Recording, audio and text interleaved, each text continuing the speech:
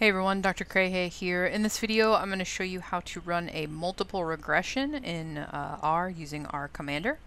So remember to fire up R and you'll get the GUI page, type library R Commander and hit enter, and that will open up R Commander for you. From here you need to load the data set. So again, data, import data uh, from SPSS. You can change these if you want. I'm just going to leave it alone there. I'm going to open case 3. This is just a sample data set that I have. Click on view data set and you can see here some information about the data set. So here up top you can see I've got variable 1, a dependent variable, independent variable 1, independent variable 2, each row is a case, just like it has been all semester. So if you scroll down, you can see there are 100 people in my data set. So 100 people, and we have four variables. Now the first thing you'll want to do is look at uh, your normality for all of these? Well, you'll want to look for outliers first, right? So make sure you look at your box and whisker plots. Make sure you look at your normality. So take a look at that skew kurtosis for all of your independent variables and your dependent variables. Now, if everything's okay with, with those statistics, uh, you really should check a couple of additional assumptions uh, in multiple regression. For this semester, I'm not going to make you do that. Um, I think that we've been a little bit MyStatLab heavy and a little bit light on the analysis side, so I'll let you skip that. But please do uh, note there are additional assumptions for multiple regression that should be tested um, that we're just going to skip for this iteration of the course. All right, getting down to business. So you've got your data set loaded and uh, you've carefully read your instructions. So uh, depending on your last name, you're going to have different sets of independent variables. So make sure that you pay attention to that.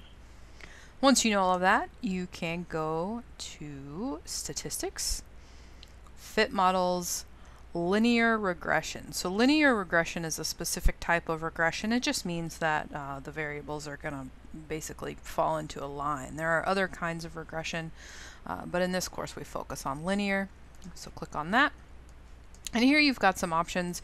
You can name your model if you want.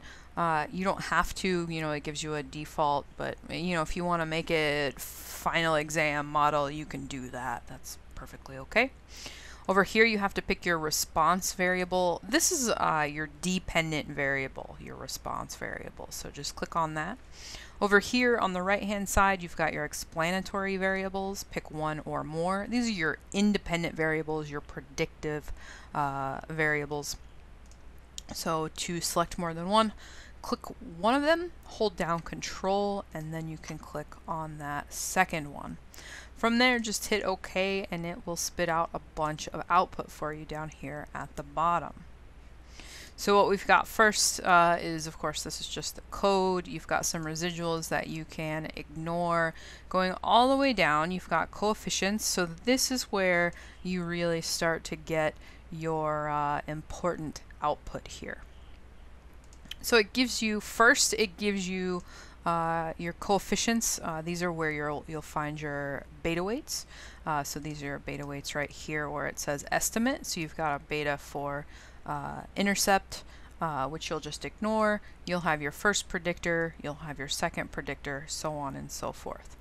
Uh, you'll have your standard error, you'll have a t-value, and then an associated p-value. So again, it's reporting these in scientific notation, so make sure that you change those, and that if they're really, really teeny tiny, report it as less than 0.001. So what it's doing here, it's performing a t-test uh, for each of these uh, beta weights. And it's saying, is this beta weight statistically significantly different than zero? Is this number uh, right here, this beta weight, different than zero? So uh, if your results are statistically significant, less than 0.05, yes, the beta weight is different than zero. If not, then no, it is not different than zero. Uh, so some people put a lot of emphasis on these uh, statistical values, statistical significance values. Personally, I don't think they're very important. What's going to be most important is which of these two numbers uh, is bigger. right? So uh, if you've got a bunch of predictors and uh, you know three of them are statistically significant, those are the three you're going to pay attention to. But where you should put your emphasis and interpretation is the size of these beta weights, because whichever is bigger, that's what's getting the most credit in that regression equation. And of course here, uh, it gives you significance codes as well. Um, so it's saying that zero is represented with three stars. And so you can already tell that my two uh, predictors, the beta weights, the p-values are less than 0.001. They're statistically significantly different than zero. Okay, so going down, we have the more important stuff.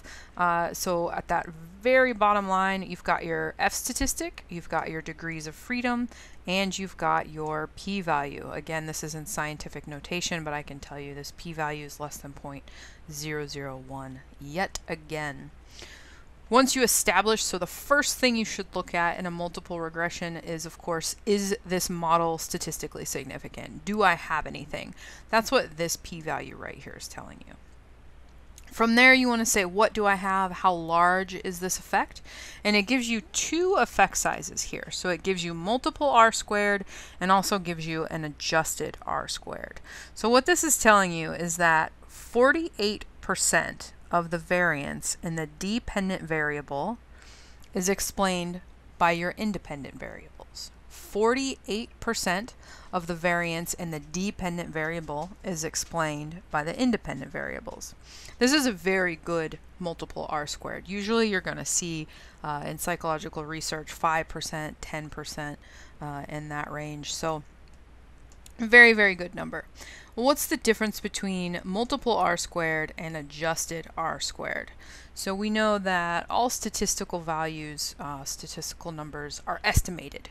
Um, sometimes they can be overestimated, and that is the case with adjusted r squared. Because of the way it's calculated, r squared is going to tend to be a little bit, multiple r squared is going to be a little bit on the high side. It's going to be uh, an overestimation of the effect. It's going to be higher than the actual effect uh, in reality. So adjusted r squared uh, just you know applies a little bit of math to bring that number down, tamp it down a little bit, make it more accurate. And so what I'd like for you to do, of course, report your p-value and then report both of these uh, r values. I think that's the best way to move forward.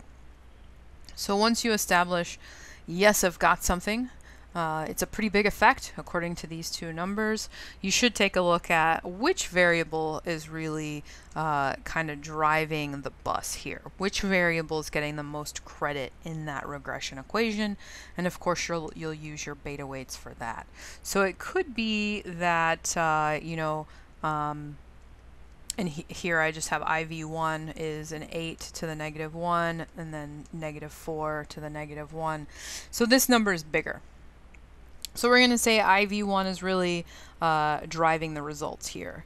Uh, followed by IV2. You might have one beta weight that is very, very high, and then the next beta weight is close to zero. In that case, you might say, you know, uh, the first predictor is doing a very, very good job. The next predictor is contributing very little to the model. So depending on the strength of those uh, numbers, you can interpret those in different ways. Now, we've got some resources linked for you to help you uh, understand these results a little bit more if you need it. Please take a look at those. Uh, and of course, I'm available via email. We can set up a meeting if you'd like to chat a little bit more. All right, hope this helps. Good luck on your final.